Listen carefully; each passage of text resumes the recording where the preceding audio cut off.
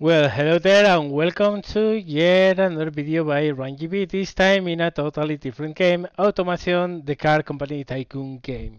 If you have been in my channel and following me for some months, uh, you will remember maybe two, three videos I made some months ago about automation. Back then it was reduced to an engine creation and design tool and uh, very limited in its scope. But of course, months have passed by and automation has grown.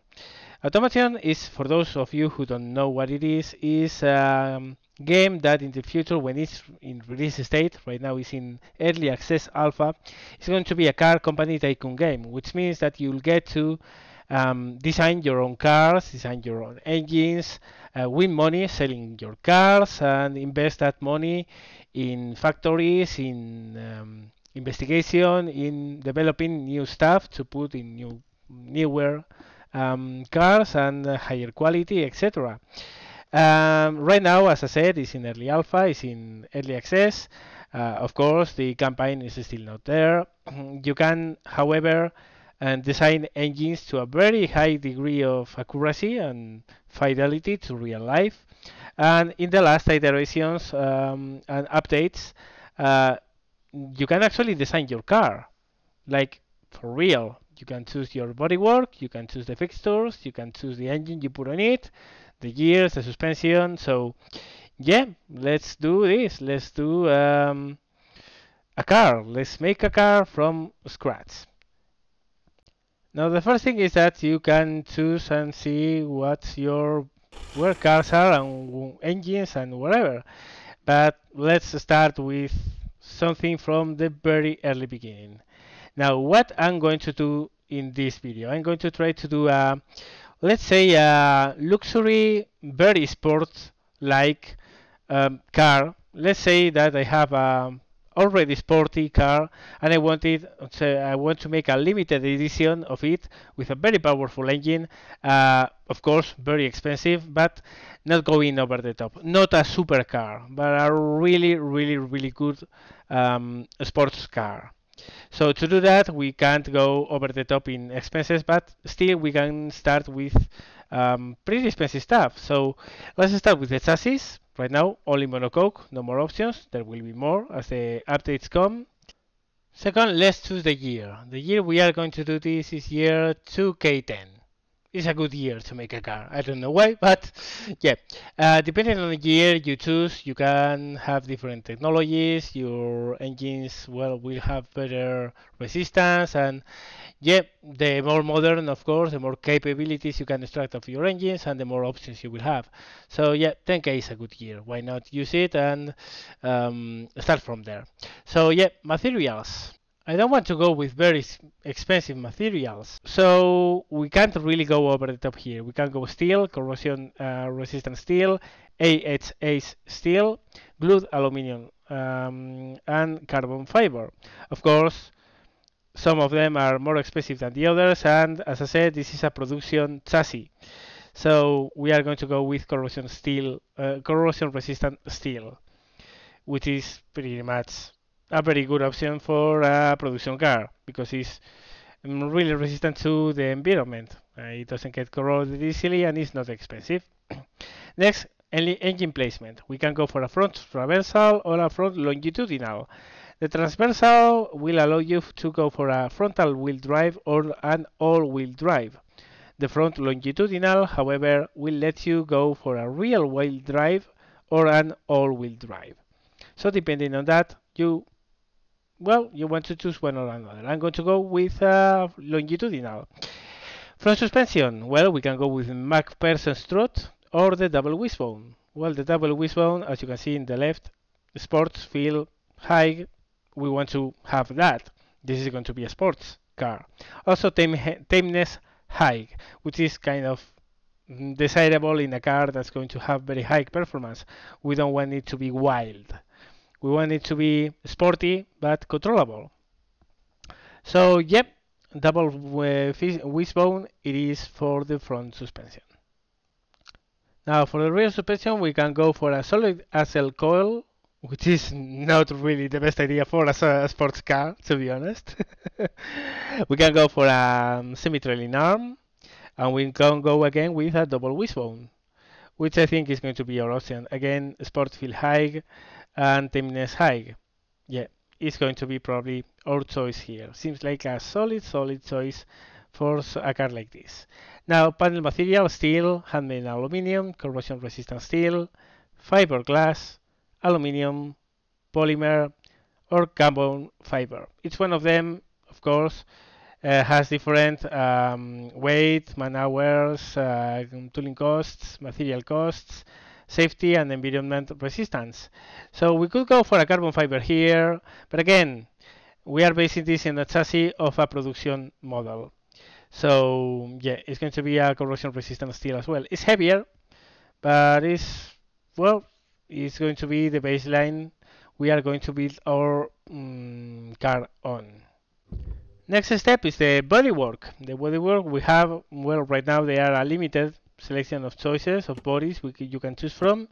However, um, there will be more as the updates come by. There are already more than in the previous update, and the next one is going to bring some more. So we have several of these to choose from, and I want to go for a sports-like looking car. And uh, from what I have here, mm, probably this is kind of cool. But yeah, th this looks like a CRX. Actually, no. Let's go for something else. Let's see this. Yeah, that kind of that kind of yeah that that might work. so well, let's modify it a little bit and see what we can do from here. Um, you can see that we can click on those highlighted places to move it forward and backwards.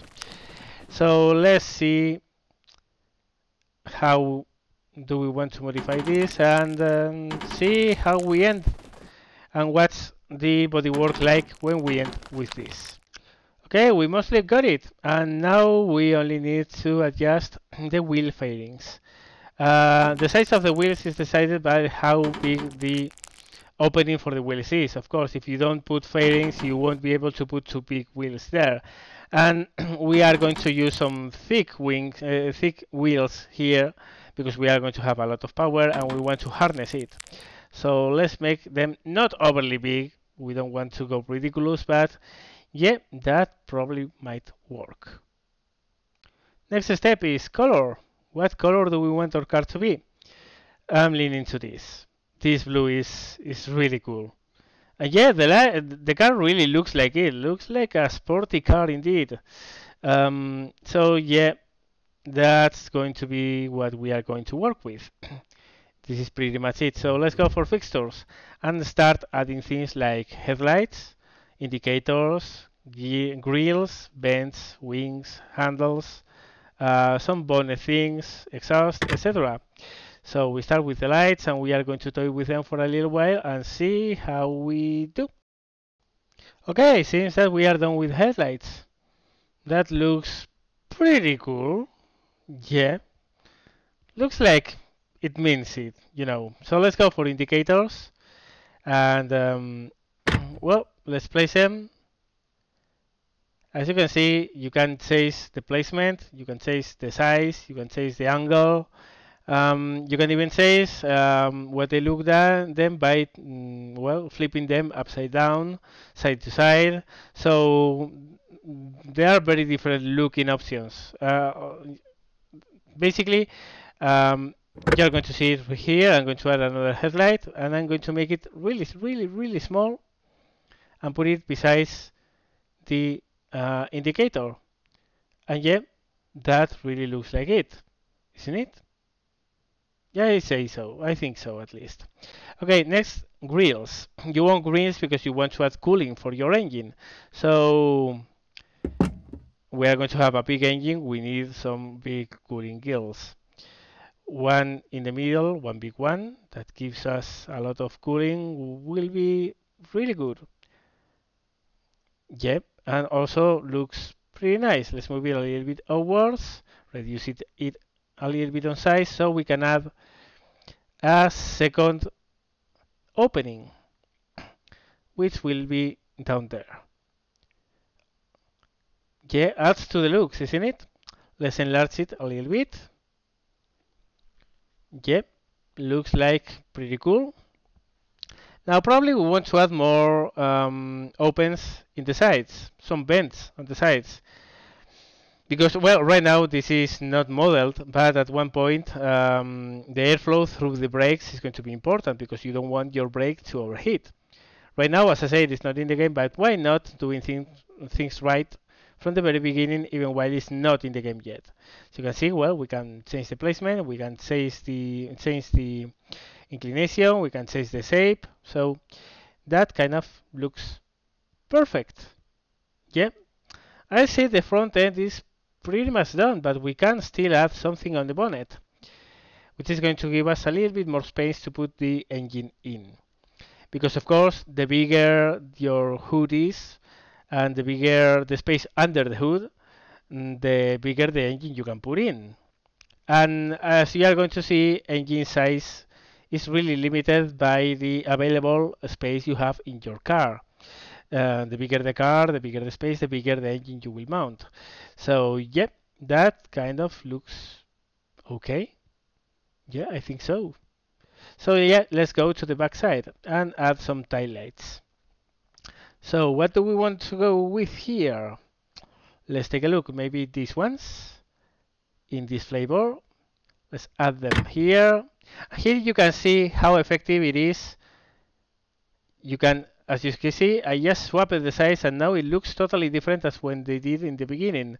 And they actually look really cool now. Isn't it? Yep, let's toy with them a little bit and see how they look at the end. Well, I say they look really cool. So let's add some he things here. The, the, the grills are not just for cooling, they are also aesthetic. So let's add one here. That's going to be our license plate.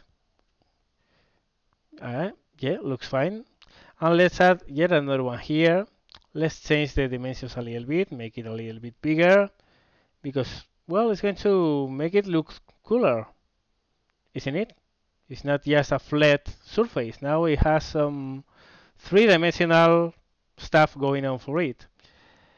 Now we can move the um, the lights to accommodate for that. Yep, that looks pretty cool. And what will be next? Well, placing badges because we want our car to have our logo of our company and that one looks really good. Yep. Really looks the part, isn't it? Now next we want to add handles because if you can't enter your car, well, it's a kind of a useless thing to, to have. So let's put handles. We only have two doors, so two will make do. And these also blend very well with the shape of the car they actually look the part. They, they look like they fit in. So yeah, aesthetically looking, I think this car is pretty much done. Uh, we only have to add, of course, some exhausts. So let's go with a couple of those. Not extremely big, no need to. And uh, yeah, that kind of looks the part. I think uh, our our car is pretty much done. We only have to add some aerodynamics because, of course, a sports car needs some downforce. Uh, of course, you are not getting Formula One downforces here, but a little bit is always good because you don't want your car to lift off when it's going very fast. You need some downforce to keep it on the on the track or on the road, because this is one of those cars that um, you are going to drive every day, and um, in the weekends you can take to the to the racetrack to race a little bit and to have a lot of fun driving it to the top we are also going to add some a, a small, not really big rear wing, which, yep, that kind of looks cool and it's going to help with the downforce. So yeah, that that's it. That's our car. That's that's it. We don't really need any more. We have placed everything we need. So yeah, let's move on. Of course, one of the nice things of any of these game, uh, games is to name your creations for whatever, like whatever you want to call them. Uh, I'm really bad at naming things, so I'm going to call this call this sports one body. So now we go here, sports one body, and now we hit on new model. And now using the body we just created, we are going to place an engine in here. But we are not going to use any engine I have already built. You are going to see me creating an engine for this car. Actually, you're going to see me doing it. So, yeah, all we have to do is to look at how much space do we have under the bonnet, choose whether we want rear wheel drive or all wheel drive, and we are going to go for all wheel drive because I'm going to put a lot of horsepower in this uh, in this car, and uh, the more wheels you use to put the power down on the ground, the more controllable it's going to be, and the better acceleration and the better handling. So yeah, all-wheel drive is going to be. So the next thing we need is to choose an engine, but we are not going to choose one. We are going to build a new one from scratch. So we are going to go for a V8, and I'm going to place some limits on myself here we are limited by the space of our engine, but we are also going to be limited by the quality. As you can see um, in the right left side of the screen, there's a quality tech pool, which right now is zero and zero. You can put it to one side, you can put it to the other. You can reduce the quality, so parts will be cheaper but less quality. You can move it all the other way and place high quality, which is going to make bigger costs but much higher quality parts.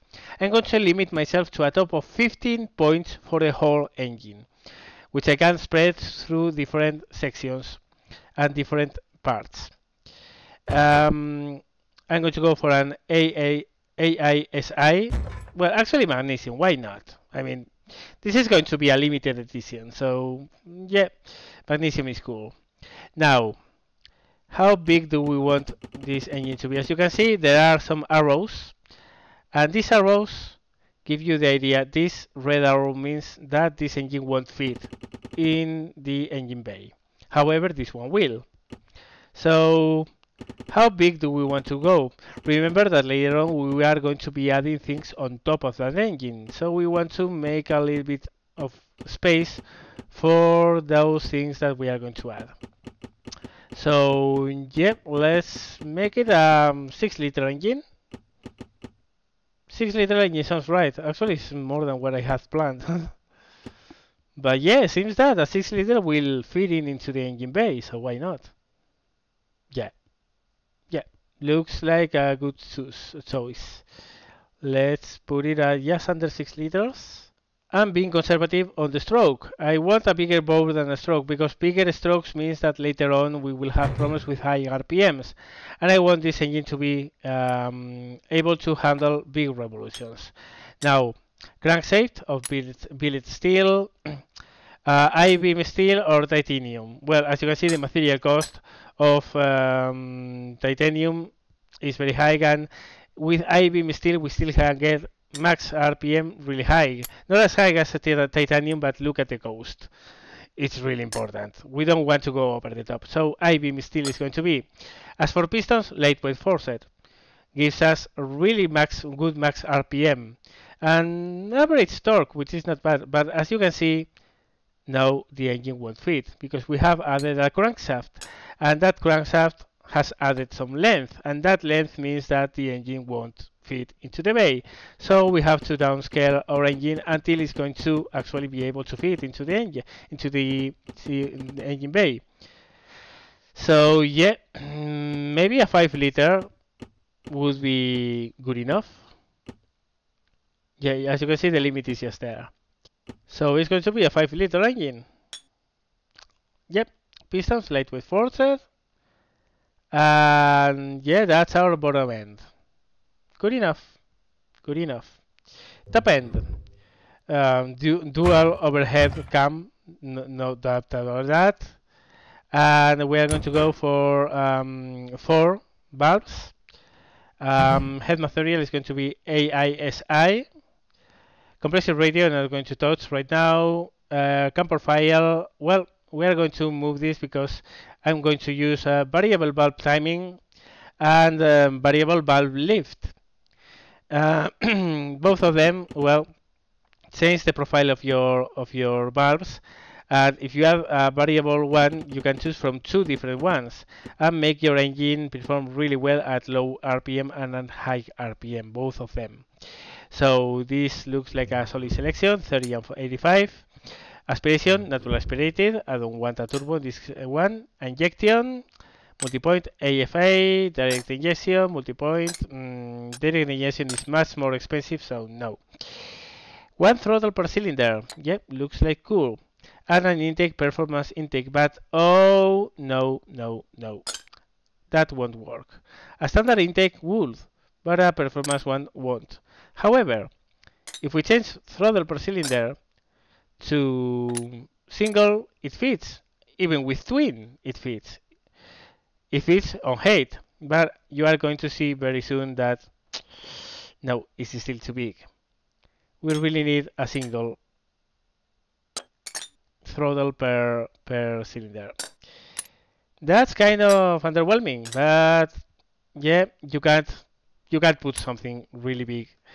Uh, mechanical injection will go in, but it's extremely expensive. So yeah, maybe we can go with single point EFI. I mean, direct injection is simply not going to fit in, as you can see uh, single point will. So yeah, well, that's a limit we have on our engine, but still is big enough. I guess that we still can get a very good power out of this with that.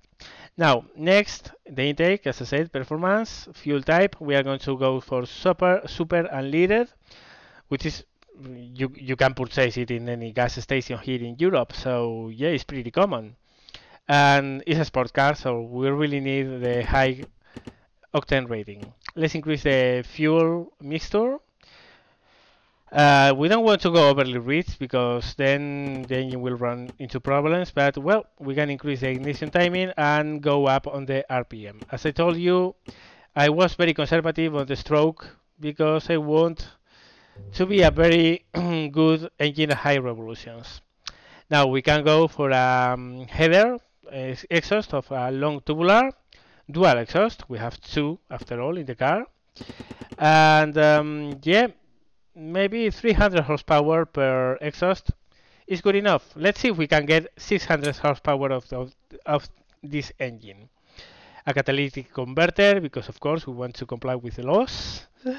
Um, straight through first muffler and a reverse flow second muffler. So the engine is loud but not too loud as to break the law. So let's take a look and see how this engine runs. Ooh, this looks promising. Maybe we can hit maybe 450 horsepower, we'll see. Yeah, it's increasing really well. A very flat torque curve, which is also highly desirable. And um, seems like something wasn't really okay yeah the engine is running retard reducing the power output. Yeah let's reduce so the fuel mixture a little bit and do some more testing. And yeah from now on what I'm going to do is to change the fuel mixtures the cam shaft the cam profiles I'm going to change the ignition timings I'm going to change the compression radius I'm going to um, toggle with the RPM and see exactly how much power can I get out of this engine. We are not really bothered by the economy um, because whoever buys this car is going to be rich, so whatever. Um, so yeah, let's toy a little bit with the engine and see what we end with. Okay, we have played around a little bit and we are hitting a little bit of a compression radio problem here, but right now should be okay. Yeah, 570 horsepower. That's a lot. I'm wondering if I can hit 600. And uh, as you can see, the manufacturing costs are not insanely high for a high-end engine like this, which is going to be, after all, in a very expensive car. So um, let's increase the quality in the top end, in the bottom end by 5 in both of them, and in the fuel system as well, and see what we achieve. Well, we achieved almost 600 horsepower. With the 15 quality, I reserve for myself to toy with. So can we steal 600, 600 horsepower out of this engine? Let's increase displacement a little bit. Almost there, almost there. We are only 3 horsepower short. Um, let's see if we can increase the ignition timing a little bit. Yeah, we can. Didn't increase a lot, but we can increase it a little bit more. Let's see, one more horsepower, but we are running out of Euro octane rating here. Let's increase a little bit the stroke, a little bit more to increase the capacity. We still can fit the engine into the car. Just one horsepower to go, and we have 600 C, uh, 600. But come on. Okay, this is too big. This is okay. This is going to be a very tight fit into the engine, uh, into the engine bay, but whatever. Let's see. And yeah, we got it. 600 horsepower out of a um, 5 liter engine. However, as you can see, we have too much heat for the car we have. We don't have enough uh, cooling power. So we have to reduce this by a little bit. How can we do it? Well, increasing the stroke has increased the, he the heat. So let's reduce it and see. Can we go one less? Yeah, we can go one less and still retain 600 horsepower. So let's see how this sounds.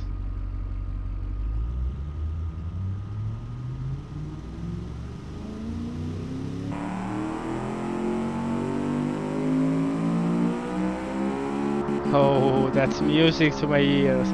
As you can see, the connecting rods are having a little bit of trouble, but not too much. Uh, the mean time between failures is actually very high in this engine. So, yeah, that's that's our engine. We are going to use it. Let's update this. It's a 5.1 liter and uh, NA for naturally aspirated. And let's save it okay is saved. As you can see it's not really expensive. It's a little bit intensive on labor but it, the material cost is not really high.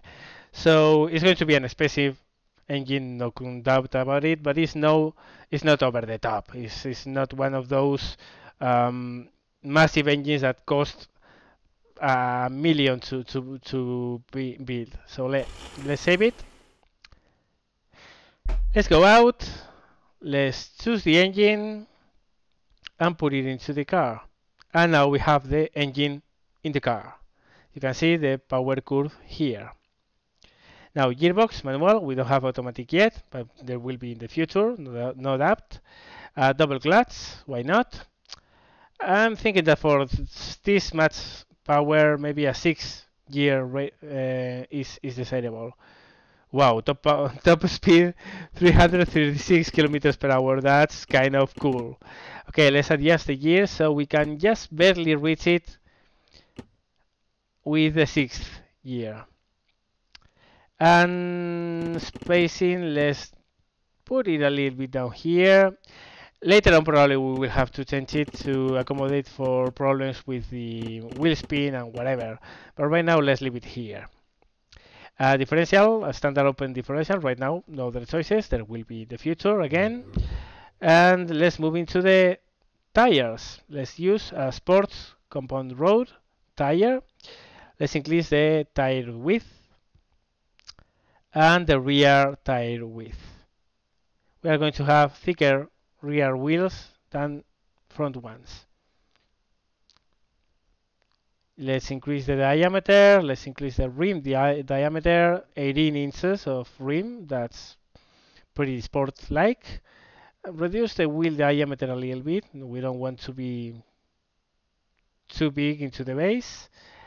And yeah that actually looks like a perfect fit. And also in the rear side looks perfect. Okay next in line brakes. We are going to need really good brakes uh, four pistons in the front Pad type right now doesn't do anything, so yep. Um, this size, as big as we can go in the front axle, we really have to have really good brakes in the front. In the rear, we don't need that great um, brakes, so we can go for two pistons and a smaller disc size. Next, suspension. Now we can tell you here with the stiffness we can re we really want to stiff the suspension because if this is going to be sports car we want yeah something that doesn't go and wobbles around each time you take a, a, a curve. Uh, camber, let's add a little bit of camber as well here. And um, damper stiffness, without going too much because we don't want to go too heavy there. Otherwise, if you meet a bump in the in the in the road, you are going to just go airborne basically. Uh, let's reduce the height, the ride height to 180 millimeters. That's cool. Now the weight.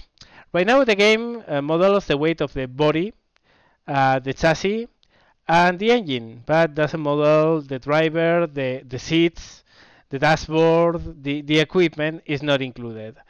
Um, in future versions will be. Right now you have to make an estimate of uh, how heavy your car is.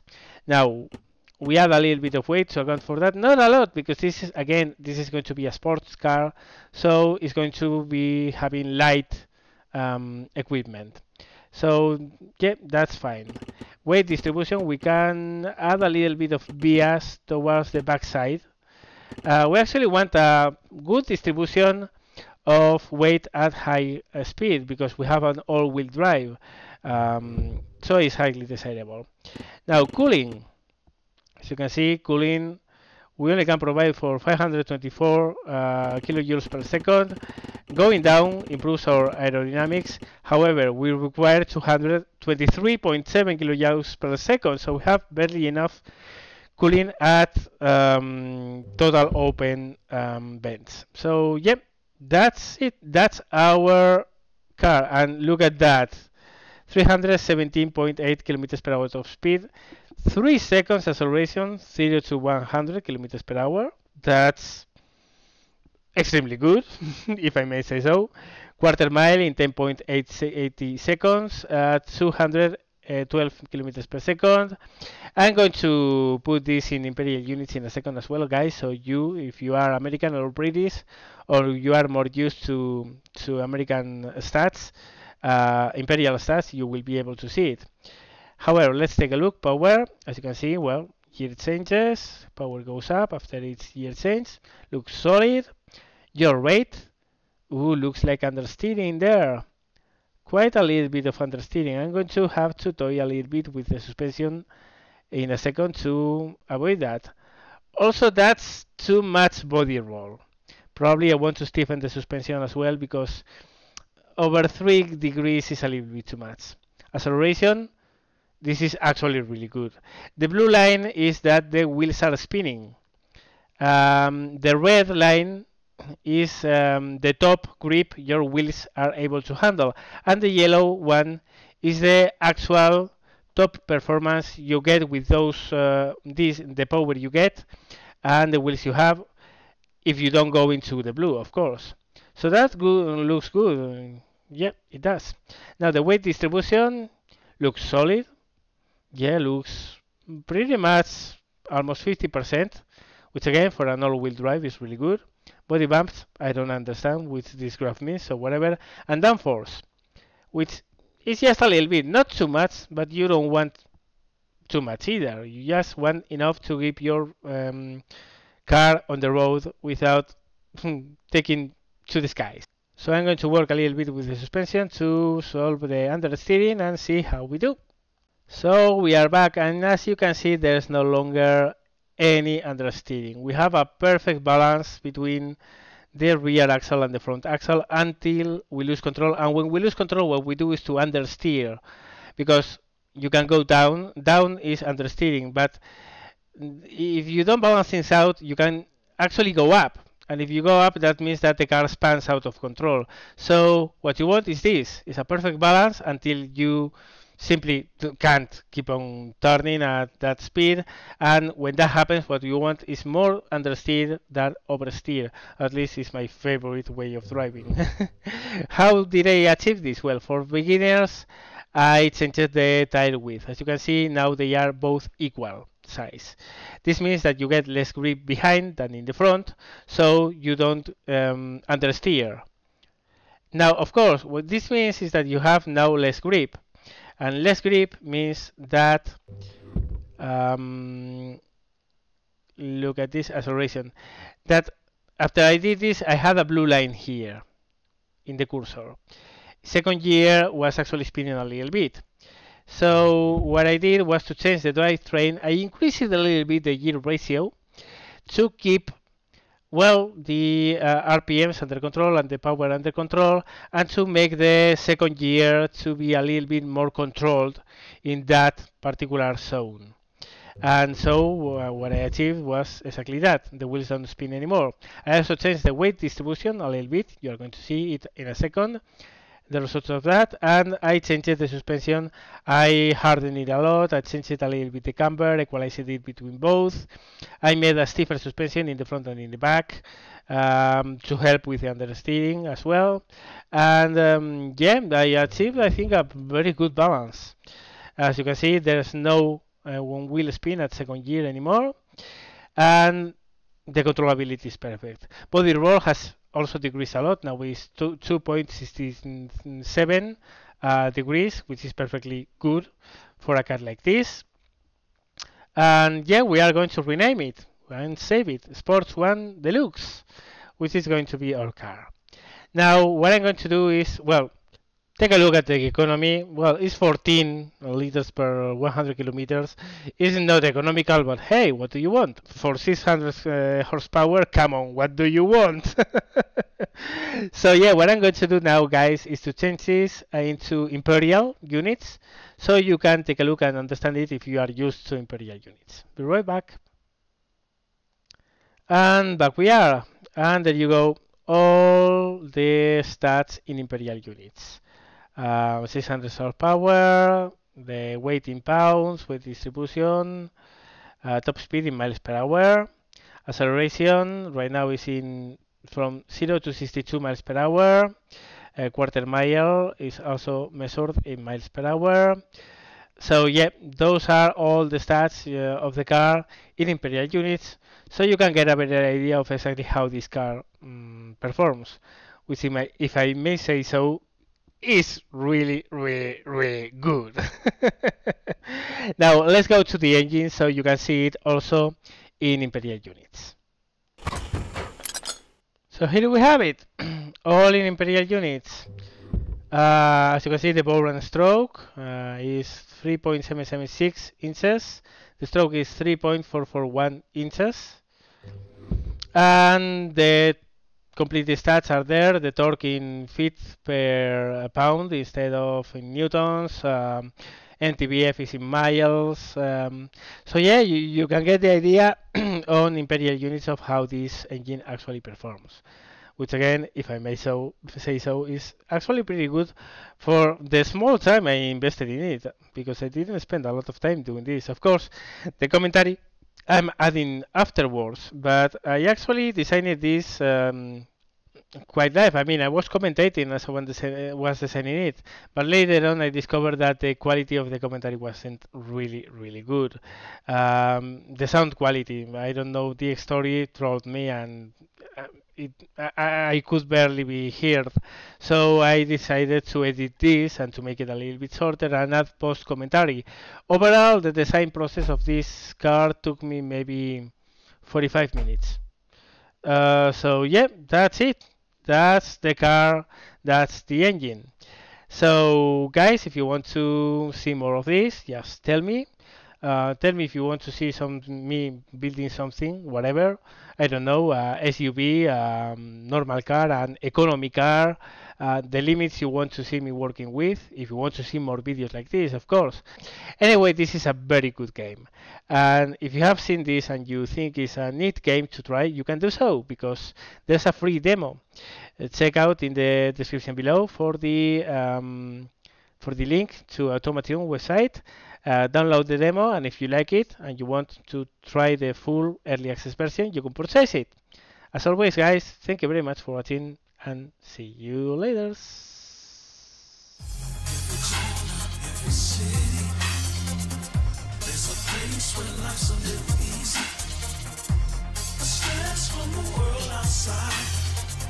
Every longer, we'll be alright.